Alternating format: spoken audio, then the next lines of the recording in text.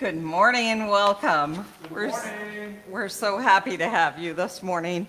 Um, I will let you know that um, we had a wonderful attendance uh, at the early service, which always means a lower attendance here. So sorry about that. But uh, we did, did have several people who normally come to this service uh, uh, that attend that one. And we had almost 20 there this morning, so that's really, that's a great attendance for them. Uh, We have one meeting this week, that is the uh, property meeting Tuesday night at 7. Also, as you saw in the announcements, there are little sign-up sheets out here. As you leave this morning, please, please consider signing up to uh, contribute to the uh, picnic in, uh, the, on the last Sunday of July. It'll be picnic day. No one will be here in the sanctuary at all. We'll be downstairs at 10:30. Both congreg, both services will be smushed together, and we'll do something. Um, we'll do something. Anyway, it'll be it'll be fun, and we will uh, worship together. I'd like to, last week, I forgot to welcome people in the parking lot because I thought everybody was inside, um, but I was wrong, and there were people out there. So hello if there's uh, anyone out in the parking lot. Of course, this week there's not, yeah. Now, I knew when I saw the weather forecast, at, at 4 a.m., I was already up, but at 4 a.m., we got a flash flood warning uh, uh, that ran through the in, through the afternoon, I thought, well, there will be the hearty few at church this morning. So thank you for, for coming. I appreciate your presence. Um, I also want to remind you that uh, just sign up and, and let people know that you're coming and what you might be interested in helping with. We still need um, we still need help with a few things for that event, and, and we'll be so happy to have you all with us together. It's a fun day to spend together.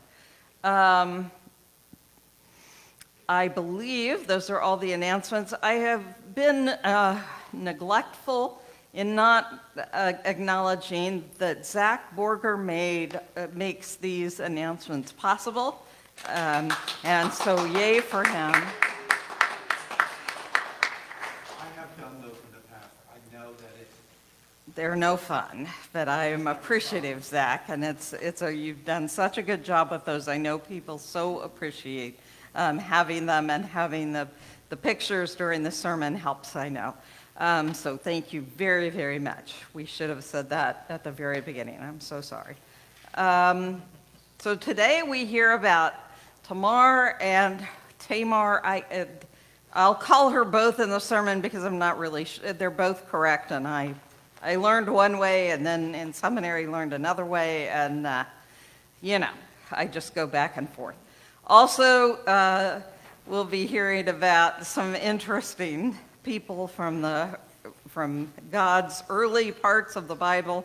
It's, uh, it, it, it- I will tell you, uh, my husband said, uh, my husband picked up my uh, sermon off the printer early this morning and was like, well, this is thicker than normal. And uh, so prepare yourselves. Everyone, it was very, very well received at the first service, so everyone commented on it. So you have that to look forward to too. So there. Um, but we, I hope that you join with us this morning and join with me as we together worship God Almighty. And now I invite you to please rise in body or spirit. Blessed be the Holy Trinity, one God who greets us in this and every season, whose word never fails, whose promise is sure. Amen. We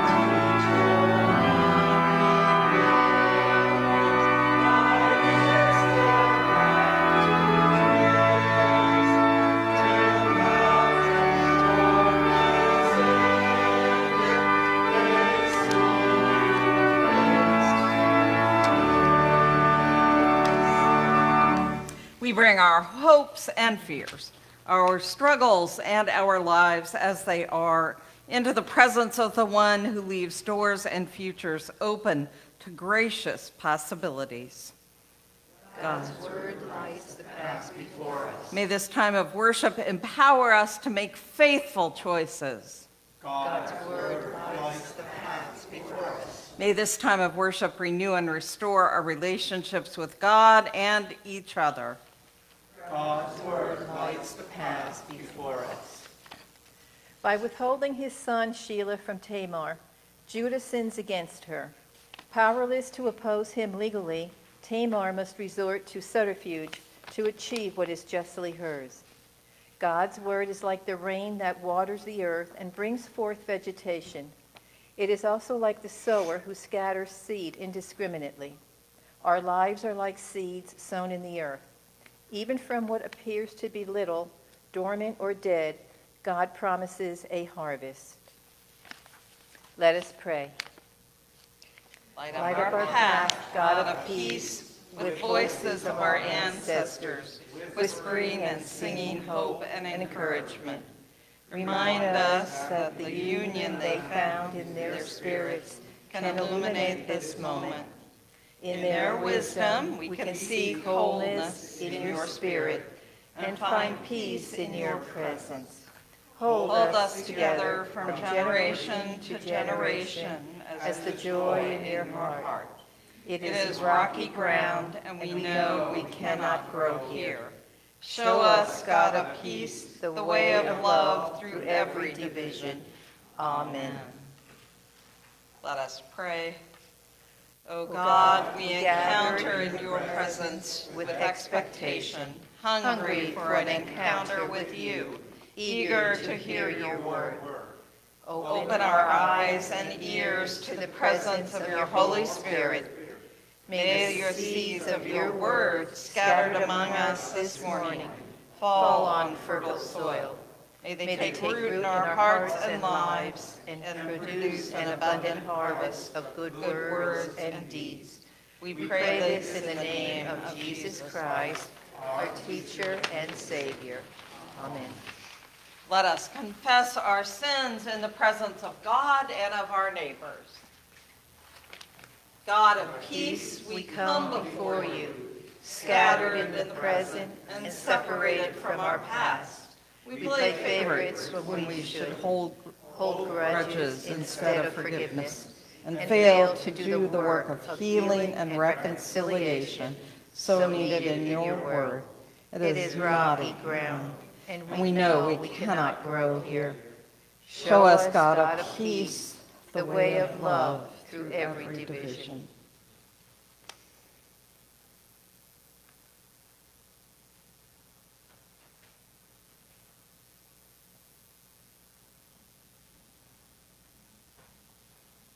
Lord, have mercy upon us.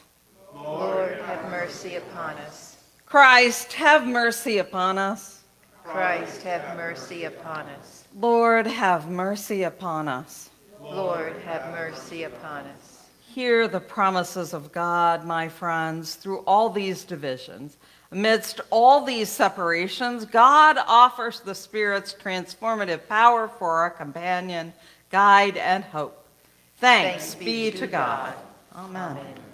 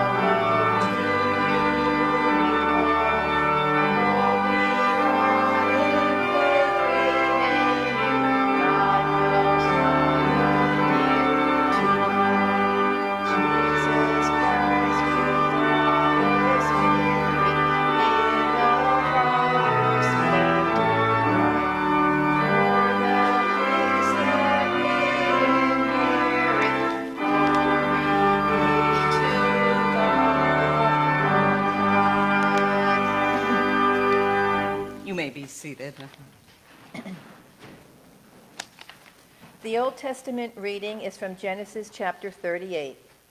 Genesis 38 breaks into the Joseph narrative with a bold, complicated, very broken story.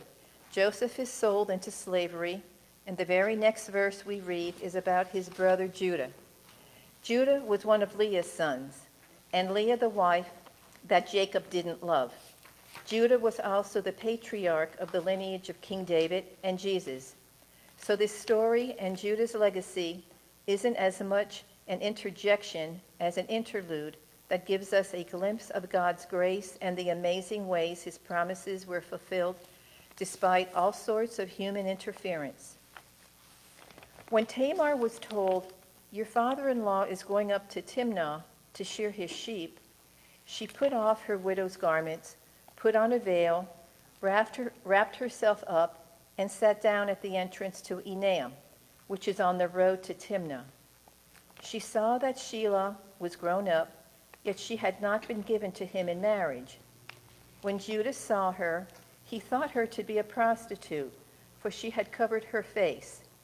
He went over to her at the roadside and said, Come, let me come in to you, for he did not know that she was his daughter in law. She said, What will you give me that you may come into me? He answered, I will send you a kid from the flock. And she said, Only if you give me a pledge until you send it. He said, What pledge shall I give you? She replied, Your signet and your cord and the staff that is in your hand. So he gave them to her and went into her, and she conceived by him. Then she got up and went away, and taking off her veil, she put on the garments of her widowhood. About three months later, Judah was told, Your daughter in law, Tamar, has prostituted herself. Moreover, she is pregnant as a result of prostitution. And Judah said, Bring her out and let her be burned. As she was being brought out, she sent word to her father in law. It was the owner of these who made me pregnant. And she said, Take note, please, whose these are the signet and the cord and the staff. Then Judah acknowledged them and said, She is more in the right than I, since I did not give her to my son Shelah, And he did not lie with her again. The reading of this psalm, Psalm 119. Psalm 119 is the longest psalm. It is a hymn in praise of and appreciation for God's instructions to the people. You see, God not only called Israel to be God's people and gave them a wonderful land, but God gave them a blueprint for living. The Hebrew word for that is Torah, sometimes translated law or teachings. In Torah, God tells them how to structure their lives and communities so that they will live long, prosperous lives in the land God has given them. Your word is a lamp to my feet and a light upon my path. I have sworn and I am determined to keep your righteous judgments. I am deeply troubled. Preserve my life, O Lord, according to your word. Accept, O Lord, the willing tribute of my lips, and teach me your judgments. My life is always in danger, yet I do not forget your teaching.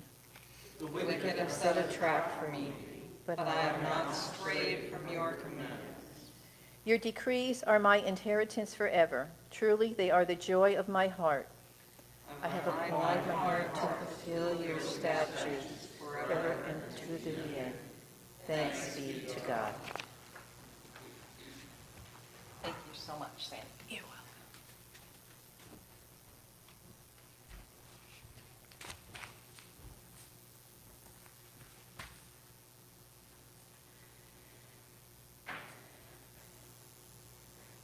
Listen to the Gospel of, oh, sorry, I'm skipping. In Matthew's Gospel, both Jesus and his disciples sow the seed of God's word by proclaiming the good news that the kingdom of heaven is near. Now, in a memorable parable, Jesus explains why this good news produces different results in those who hear.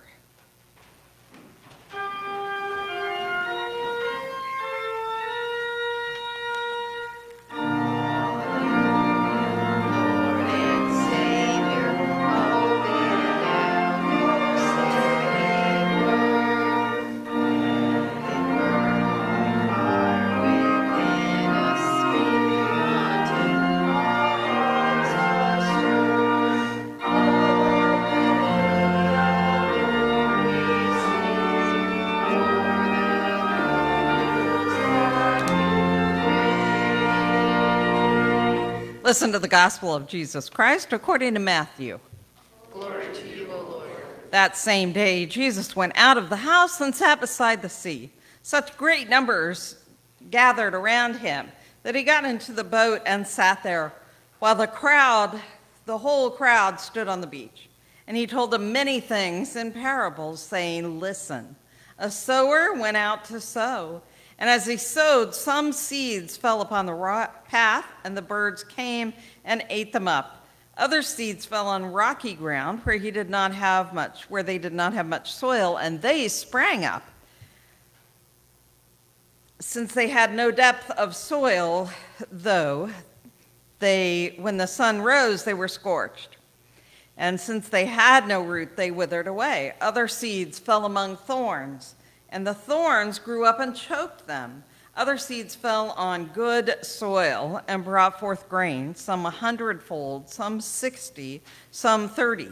Let anyone with ears listen.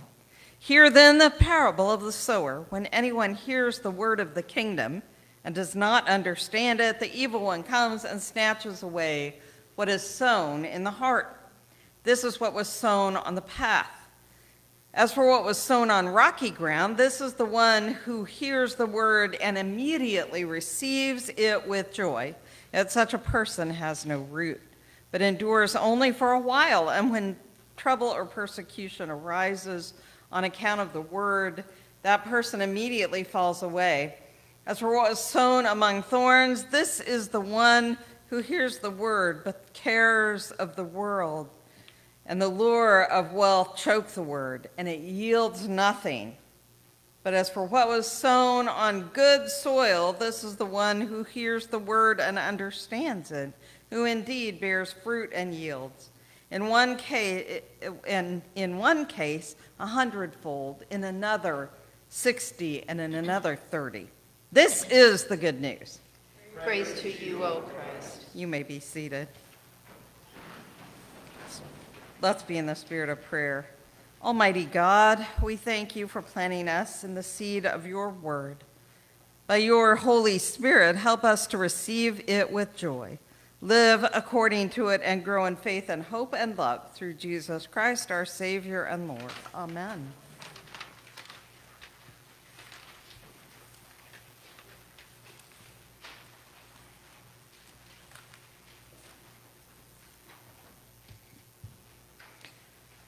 She's one of the best known authors alive today. She's sold six, in excess of 600 million books. Her life has been a true rag to riches story. She went from losing her mother, going through a divorce, living on social assistance, to becoming one of the top 200 richest people in Britain. She became a billionaire She's not one any longer because she's given so much of her money away in good ways. She's actually been named the number one most influential woman in Britain. She knocked off Victoria Beckham as number two and the Queen as number three to take number one spot. But she didn't get there without rejection. In fact, her first series of books was rejected by many, many publishers, up to the point where she almost didn't submit them another time. But even after she became one of the world's best known writers, she was rejected, she was attacked, advised to take a writing course.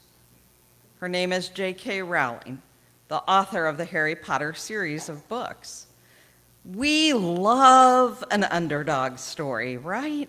We love stories like Rowling's because it's one thing for people who are already rich and successful to get ahead. They had it all to begin with, so it's no big surprise. But the real surprise comes when a person who has nothing going for them and still ends up accomplishing something amazing. It gives us hope that the same thing might be possible for us too. That's actually why we're, looking, we've spent a few weeks looking at some of the hidden figures of the Bible. They're unlikely heroes. We tend to think that God uses the successful, the gifted, those who are the most likely to succeed. But we're going to see that God actually uses some of the most unlikely people, the ones who had nothing going for them, the ones who actually would have been voted, least likely to succeed. Today, we're going to look at a very, at a very sad and seedy story. It's one of those stories that's deeply disturbing as you read it. In fact, I don't think I've ever, I know I've never preached a sermon on this passage. I'm not even sure I've ever heard one. It's one of those passages that we tend to skip over. Some people have struggled with this passage so much that they even wonder what it's doing in the Bible. So let me tell you the story, and then let me tell you what I think we can learn from it. You heard the story read already. Now, this is not one of the scriptures that's ever going to be a Sunday school favorite. One report says that this is this particular story in Genesis 38 is among the top 10 in the Bible that pastors tend to skip right over. You can understand why. You heard it. Sounds like an episode of Jerry Springer. This story is set in the context of a pretty amazing story, though. God graciously called a family, Abraham's family, to God's self to be a people and to become a nation that would bless the entire world and change history. The overall context of this story is amazing. God could have written humanity off, but he chose not to. Instead, he chose to love humanity and to begin a plan for our rescue. The big story of this, the picture of this story continues to be hopeful. But the minute we get to look at the characters in detail in this particular scripture, we start to get a little bit depressed. These are the people that God chooses, we ask. What hope is there with people like this? But that's the point. This looks like it came from a bad situation in a horrible, horrible daytime talk show. It doesn't get much worse than this. It begins with Abraham's great grandson, Judah. We're still in the early stages of God forming this family into a nation that will one day bless the whole earth. But already things have gone horribly wrong in just a couple of generations. Abraham's great grandsons have already sold off one of their brothers out of jealousy. They're about to begin another tragic episode. In fact, this story seems to interpret the bigger story, which is a bit of a clue, so pay attention. Because whenever that happens, we know something's going on in the text. Now, Abraham had warned his family that they should not marry Canaanites. That sounds weird to us today. And it has nothing to do with interracial marriage as it's sometimes interpreted. It was because back in Genesis 9, God cursed the Canaanites. And it was because the Canaanites had a completely different set of values. They were known for being immoral Abraham knew his descendants couldn't serve God and embrace the Canaanite culture at the same time. But here we see Judah blatantly ignoring Abraham and God's suggestion and marrying a Canaanite woman. Not only that, but his kids were clearly messed up as well. Now, this isn't a very stellar family. You're not going to be putting them on on, you know, primetime TV. Verse 7 says to us, But Ur, who was Judah's firstborn, was wicked in the sight of God, and God put him to death. Lots of couples talk about the struggles of that first year of marriage, but Tamar's marriage must have been a nightmare. I mean, if God puts your husband to death right after you marry him, it sort of dashes any hopes you have, right? Any girlish hopes that that woman had were quickly shattered, I think, by life with her new husband. The scripture tells us her new husband was wicked in God's sight. It doesn't give us any other gruesome details. No one spared Tamar, however. She had to live every single day with his wickedness. Now, you can imagine that a dull and unhappy marriage would be bad enough. But marriage to someone who is truly wicked and evil in God's sight puts her in a league all her own. No one knows what she suffered exactly, but suffer she clearly did. And her husband's wickedness was so terrible that God stepped in and took him. That wasn't a good situation for Tamar, but then things got even worse. There was something back then called levirate marriage. It meant that if a husband died without an heir, the husband's brother was to marry a, the widow and produce an heir for him by proxy. If the brothers weren't able to do this, it seems that the from Deuteronomical law that the father may take sometimes take on the role. This sounds bizarre to us today. But back in the patriarchal society, this custom was designed to actually protect the woman, ensuring that she had a male provider and protector. And it also ensured the continuance of the family line and that the land would be passed down to the next generation. Later on, this would become the law of Israel. But this Levirate marriage law well, it's invoked here. Er's brother Onan marries Tamar, but he refuses to allow her to get pregnant. He just uses her. It could be that he's protecting his larger share of the inheritance, because if Tamar comes, becomes pregnant with a son, then that son is recognized as his, their father's heir, and he gets the larger share of the inheritance. It doesn't make financial sense for Onan to allow her to have a child, so he doesn't. I'll spare the details, but if you want them, they're in chapter 38 Genesis, and it's pretty juicy, so you might want to go read it.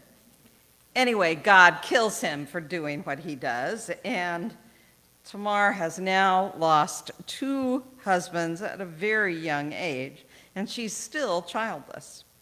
And then things get even worse even though in the Bible we know that her two husbands were evil, Judah doesn't seem to understand that his sons were responsible and to blame, and that God was responsible for their deaths. He treats Tamar like damaged goods. Now he does have another son, by, so by Levirate law, he's supposed to give her in marriage to him to continue the line but he sends her back to her father's house, destitute, to live as a widow. Now, she could have, if he had released her from her bonds, she could have remarried someone else and had a life. But Judah didn't choose to do that. So, to live as she did, with no man whatsoever, means that she was living without legal, without economic, or without social status. She's been sidelined without any recourse. And it's hard for us to picture how damaging this might have been for the young woman. She has no money, she has no options, and she has no hope. I mean, this is far worse than losing a job. This is losing all hope, losing all ability to ever, ever have another job.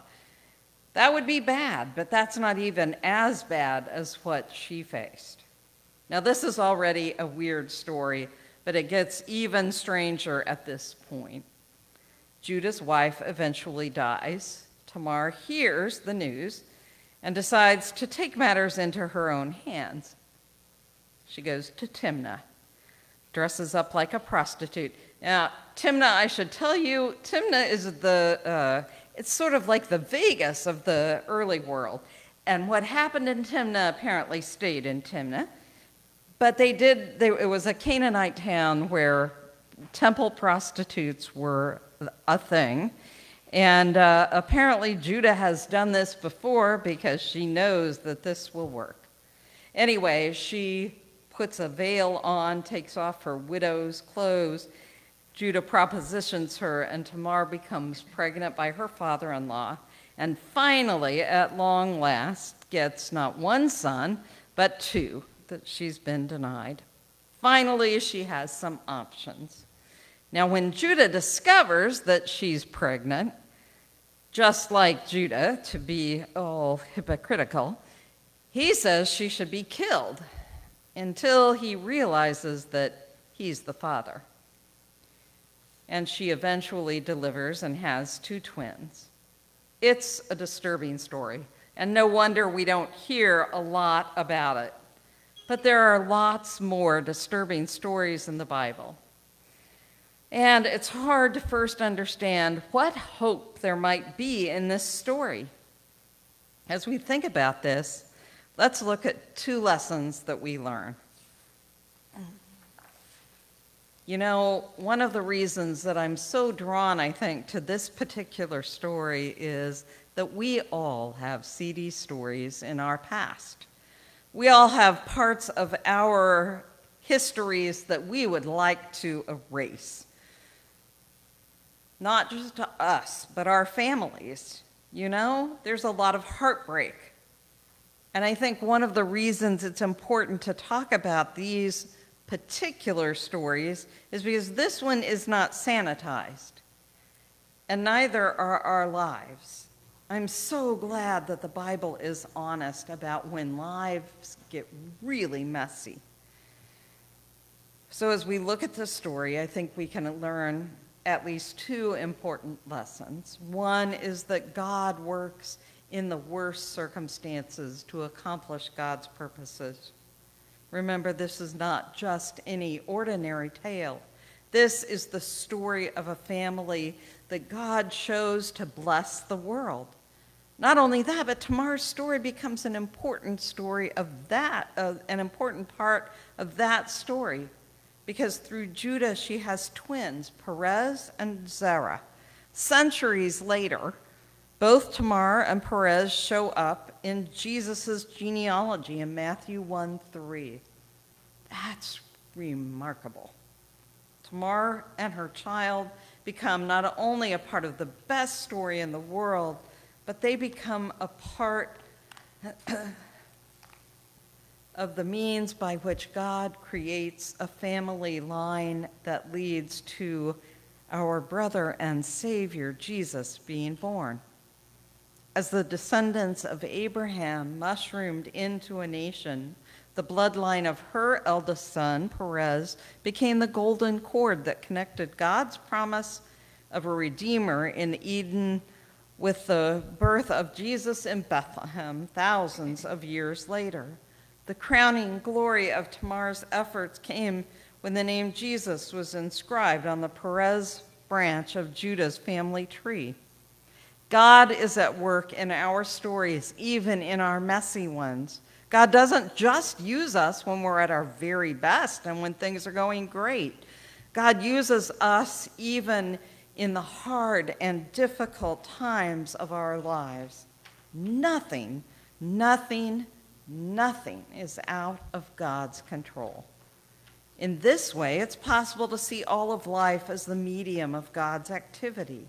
He is not just active when we read our Bible or pray. A, God is also active when we're living in the world. Hence, when we wake up tomorrow, we don't wake up to a day without God. Tomorrow is God's day, for God made it. God formed it, and God works in it. And what's more, he wants you and I to enter tomorrow determined to be the best person that we can be, the person that God created us to be. Do we have hard things in our lives? Of course we do. Don't think that God can't use us and can't use them because God works in the worst circumstances to accomplish his purposes. This is never more true, by the way, than when God's own son Jesus is killed. There has never been a greater injustice than what was committed on that day. And yet, God used that injustice to bring about our salvation. Jesus' death led to our deliverance. God turned the greatest injustice to the greatest triumph. All who trust in Jesus know that Jesus bore our sins, dying the death that we should have died. His death became our greatest hope. God works in the worst circumstances to accomplish God's purposes. And God continues to do that today. And God also works in the worst circumstances to transform our characters. God was accomplishing something in history in this story, but God was also accomplishing something in the lives of two characters, Tamar and Judah. First, let's look at Tamar. If you see her as an evil woman, and that's how she's been painted throughout the years, as a woman who manipulated Judah, then you miss the point entirely. Tamar is a remarkable woman who starts out as a victim and ends up being praised. In verse 26, Judah says of her, She is more righteous than I. Why? Tamar wasn't perfect. Yes, she was deceptive, but otherwise, she acted on behalf of herself in a way that was brave. Tamar was within her rights. She did nothing that the law did not entitle to her to.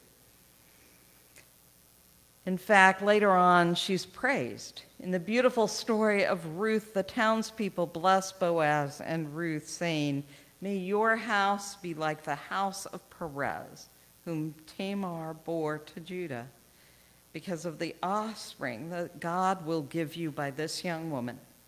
And Tamar's name appears both in Matthew, as I mentioned, and later on in First Chronicles. At a time when women are rarely mentioned, Tamar gets mentioned a lot. Tamar uses strong women by his grace and accomplishes God's purposes through them. But God also uses Tamar to transform Judah. Up until this point, there is nothing redeeming about Judah.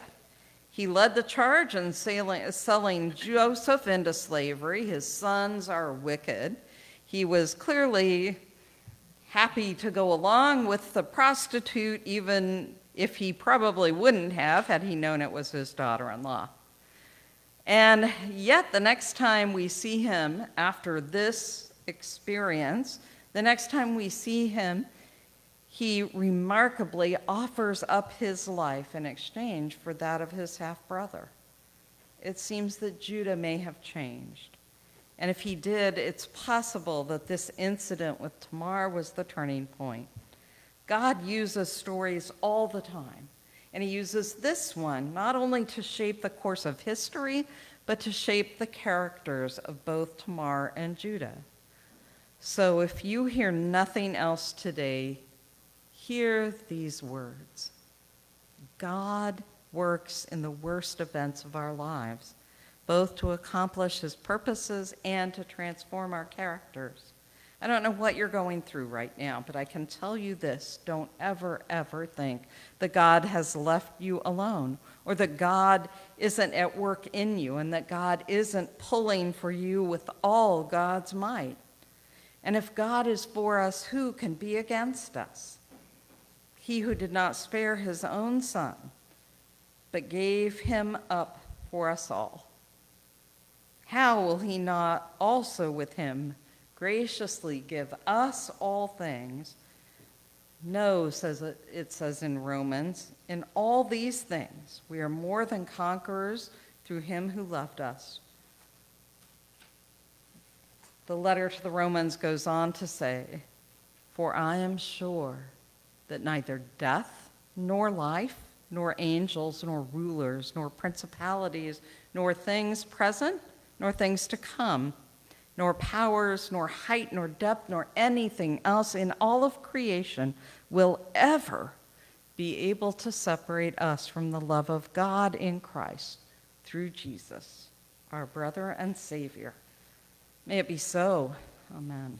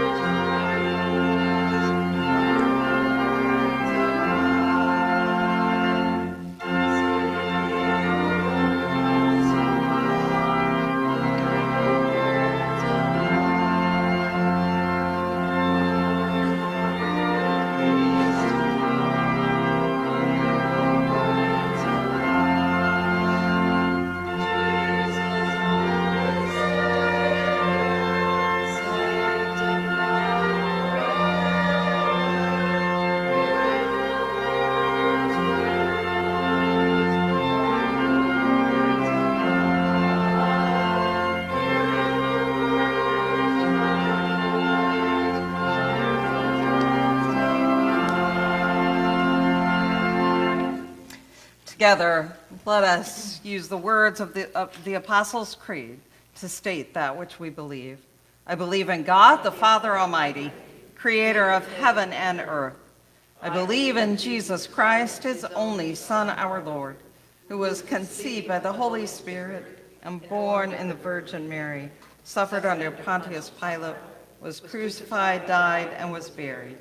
He descended to the dead. On the third day, he rose again. He ascended to heaven and is seated at the right hand of the Father, and he will come to judge the living and the dead. I believe in the Holy Spirit, the holy Catholic Church, the communion of saints, the forgiveness of sins, the resurrection of the body, and the life everlasting. Amen. You may be seated. Confident that God receives our joys and our concerns, let us offer our prayers for the church, those in need, and all of creation.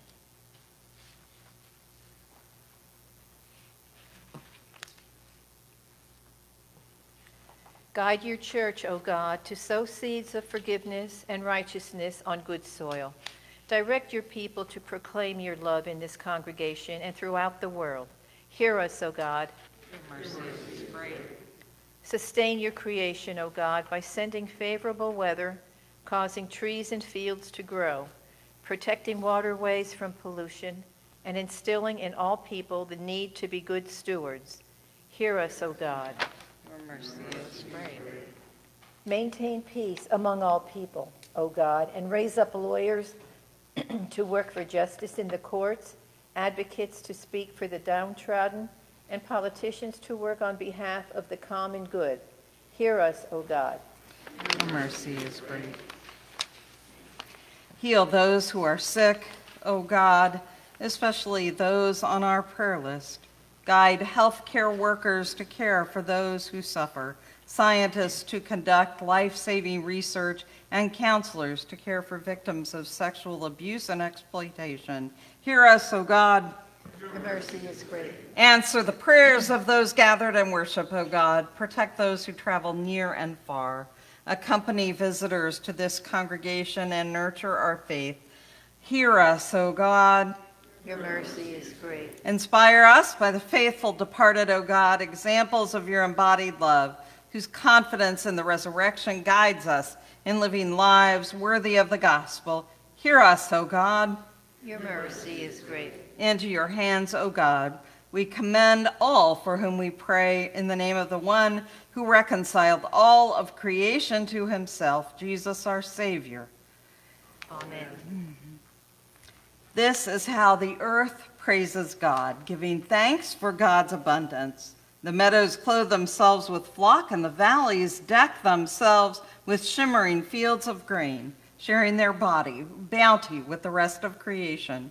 We too worship God by being abundant and fruitful with our lives, offering up our yields as if they were songs of joyful praise.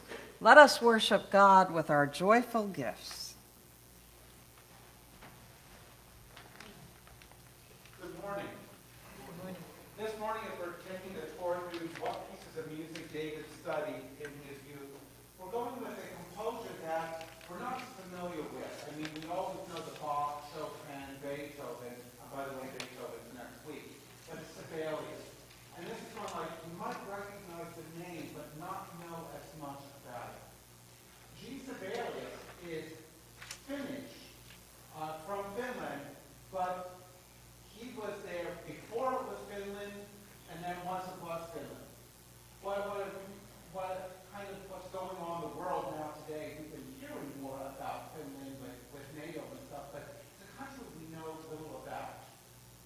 Basically, Finland has been, for most of its history, has been ruled by other people. Beginning in the end of the 1200s, it became part of the Swedish Empire, and for five, six hundred years, it was part of the Swedish Empire. Then in all of the European fighting in the early 1800s, Sweden lost a major battle to the uh, Russian Empire, and part of the negotiation, uh, Finland was kind of handed off to the Russian uh, Empire, and kind of, kind of around 1800. And it existed then for the next 100 years. But this planted a seed in Finland uh, that perhaps uh, our own destiny, freedom, is a possibility.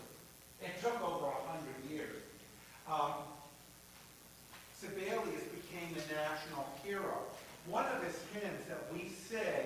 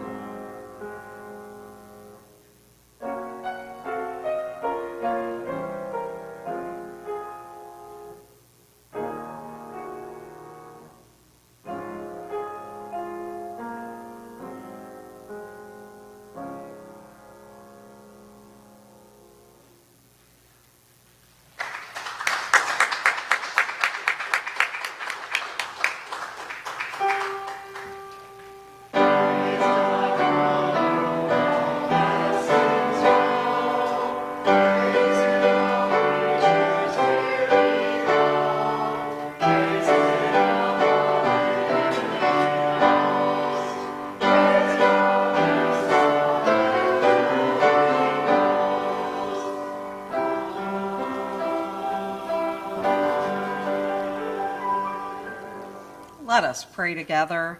God of field and forest, sea and sky, you are the giver of all good things. Sustain us with these gifts of your creation and multiply your graciousness in us, that the world may be fed by your love. Through Jesus Christ, our brother and Savior. Amen. All people are called to Christ's table. Come, eat what is good. The God of seasons be with you. And also with you. Heirs of the promise, offer your hearts to God. We lift them to the one who sows seeds of grace in us. May hope and wonder be on your lips this day. We sing songs of grace and love to the one who waters us with peace. It is indeed right, our duty and our joy, that we should at all times and in all places give thanks and praise to you, Almighty and merciful God, for the glorious resurrection of our Savior Jesus Christ, the true paschal Lamb, who gave himself to take away our sin, who in dying has destroyed death, and in rising has brought us to eternal life. And so, with Mary Magdalene and Peter and all the witnesses of the resurrection, with earth and sea and all their creatures, and with angels and archangels, cherubim and seraphim. We praise your name and join their unending hymn.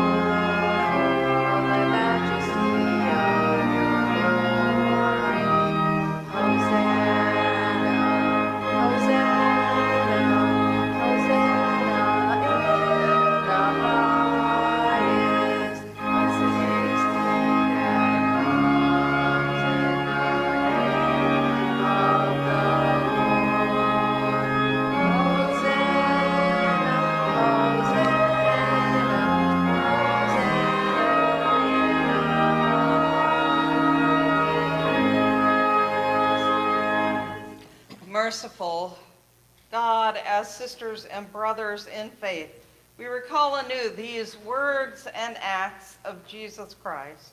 Now, as, there were, as they were eating, Jesus took bread, broke, blessed it, and gave it to his disciples, saying, Take and eat. This is my body, broken for you. And likewise, Jesus took the cup, saying, Drink of it, all of you, for this is the blood of the covenant which is poured out for the forgiveness of sins.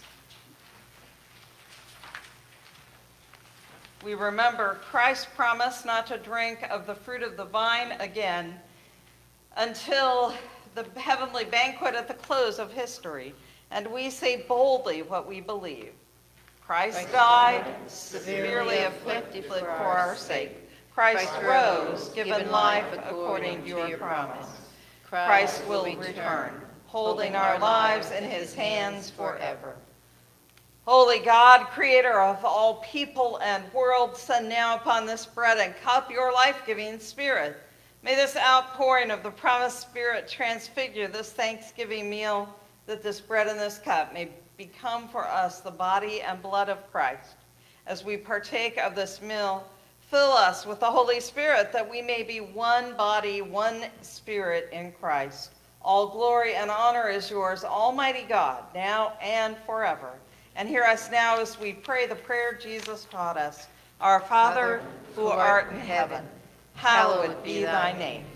Thy kingdom come, thy will be done, on earth as it is in heaven.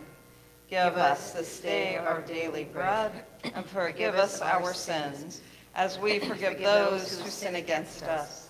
And lead us not into temptation, but deliver us from evil. For thine is the kingdom, and the power, and the glory, forever and ever. Amen. O Lamb of God, you bear the sins of all the world away. You suffered death our lives to save. Have mercy now, we pray. O Lamb of God, you bear the sins of all the world away. You set us free from guilt and grave. Have mercy now, we pray. O Lamb of God, you bear the sins of all the world away. Eternal peace with God you made. Have mercy now, we pray. You may be seated. The door to God's banquet hall is open. Enter into the joy of this feast. Saints of God, taste and see that God is good.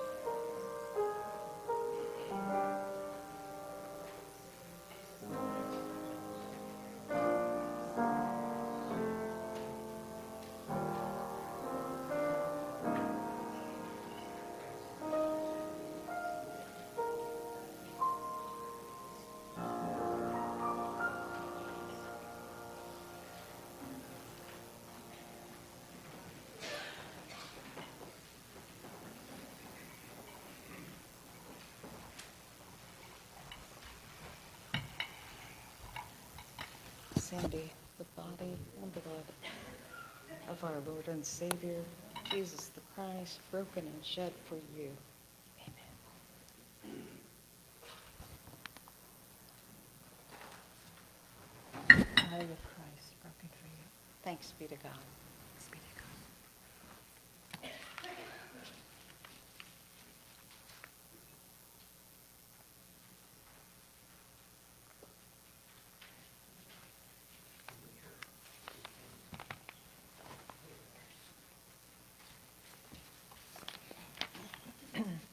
We thank you, generous God, for the refreshment we have received at your banquet table.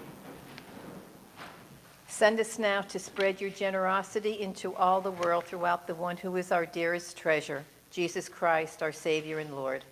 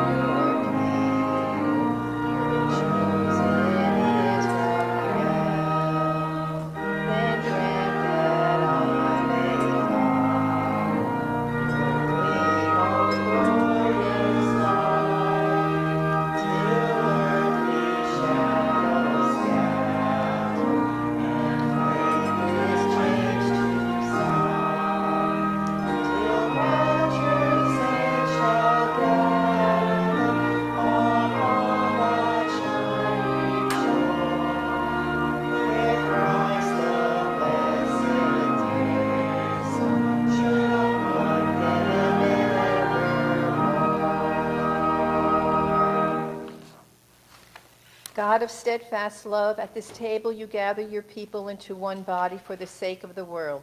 Send us in the power of your Spirit, that our lives bear witness to the love that has made us new in Jesus Christ, our Savior and Lord.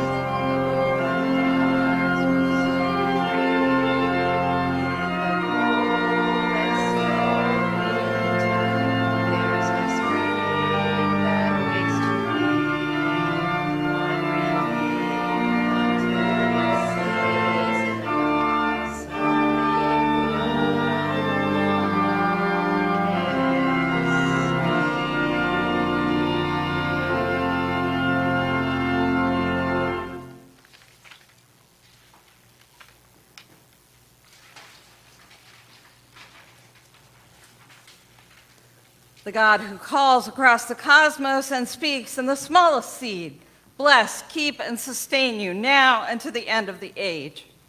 Amen.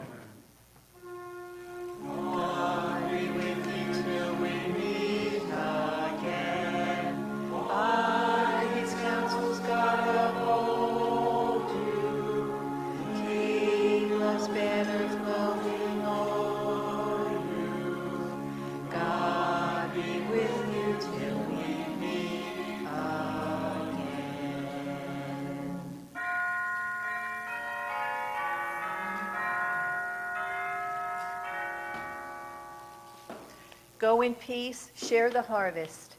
Thanks be to God.